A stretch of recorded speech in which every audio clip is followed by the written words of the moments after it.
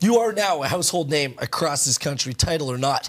Heading into that fight with Caballero, how much pressure did you feel, Steve? Um, there was a lot of pressure, you know what I mean? Um, and I think that's what cost me the fight. Not that physically I wasn't ready. You know, we had a great training camp, but I think mentally I let the, the big event get to me, and you know I, I didn't perform. You know, it happens to the to the best of all athletes, and you know it's something that you gotta you gotta learn from. How do you describe that feeling? Because you said you mentally froze. What did you mean by that?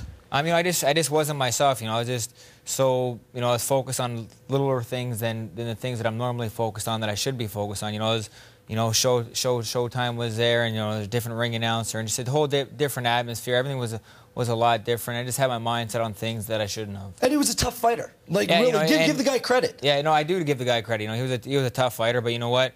I really and personally, I don't think he's better than me. You know what I mean? Like the real Steve Molitor could beat that guy. And I don't care what what anyone says or thinks. That every, everyone has their own opinion, but you know, in the reality, you know, I know I'm a better fighter than that guy, but you know, I just didn't show up that night. And you know, that's your only loss, Steve. You're 28 and one. I mean, you're right. Everyone does lose. Yet when you do lose, the critics come out at you. How do you respond to that? Um, you know what I mean? Like I was saying to you earlier, you know, like you know, the media is the media. And, You know, they, you know, they're bandwagon jumpers. But in reality, the media, like guys like you, people need me. Like you guys, you know, like what in reality, I'm the one in there fighting. I'm the one risking my life. You know, I don't really care what people what people think. You know, I, I like when the media's on my side and it's good to me. But you know, like I remember your guys' last show with you and Spider on there saying, "Oh, I haven't fought anybody, I haven't done this and I haven't done that." Well, that's fine. And that struck a nerve but, with but, you, but, didn't in, but in reality, in reality, what have you done? Sure, I, am a television host. Who, who's your Who's your opinion? You know, what have you have you gotten the ring and the rest of your life? Not a chance. Absolutely not, and you that's I mean? not my mantra. And so, I would, you know, and I. And so that's why, like, when people have their opinions about me and, and what I've done, you know, it goes in this year and out the other. But there's one thing when you're a part of the media. There's one thing, and the Canadian media has your back, Steve, like yeah, through and through. 100%. We on the show have your back. You're great for Canadian boxing. You're great for Canadian sport. Why wouldn't we be on your side? But when people raise legitimate questions, you know, whether you believe that they're legitimate or not, I mean, it, can you see how the media relationship works?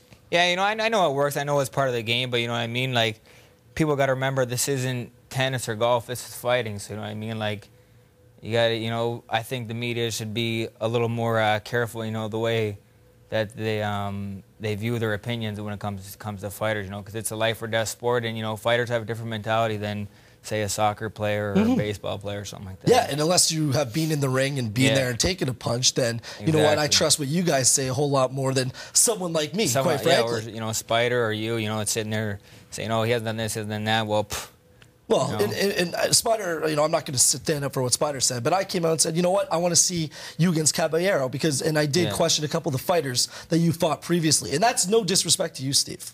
Well, you know, I got to take it as disrespect because in reality, how are you going to say question some of the fighters when I fought when they're rated top 15 in the world when they've been in there with the best fighters in the world? Could you last as long as they did? no, absolutely not. But I you guess that's mean? part of the fight game, and a lot of people don't understand that. You have to, you know, fight guys in order to get to where you want to be, and that's exactly. part of the process. It's been suggested that this is a career-defining fight for you. Would you agree with that assessment? 100%. You know, I mean, after my last performance, you know, everyone's looking to see what happens now with Steve Molitor, and you know, and that's part of the game. You know I mean? After coming off a loss like that, everyone's going to see, you know, what's the kid going to do now. So, you know, I know the pressure's on, and I'm not going to perform Friday night. You've had a son since. We talked about that a little bit earlier on. Has that changed your approach at all to when you're look, going into a fight? Without a doubt. It's made me a lot more fierce. You know, even today, had to stare down, you know, I'm looking this man in the eyes, and, you know, it's not just me versus him now. You know, this guy's taking food out of my son's mouth, and that's you know, that's not a good thing for anybody. That's the ultimate motivator. And there was some genuine tension there, Steve. And yeah. you know what? I've seen you intense before other fights. I've been up to Rama each and every one of your fights.